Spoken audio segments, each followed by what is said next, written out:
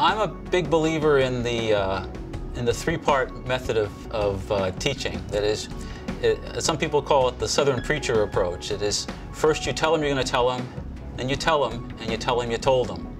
And by that I mean, in this case, you emphasize the concepts at the beginning of the, of the course, at the beginning of a problem, you emphasize the concepts and discuss them throughout the problem, and then at the end you recap by tying the concepts together again.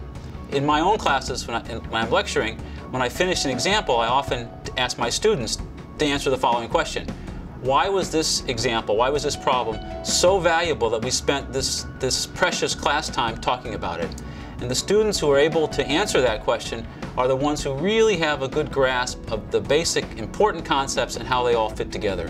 This approach to conceptual understanding is what I try to do in my college physics text.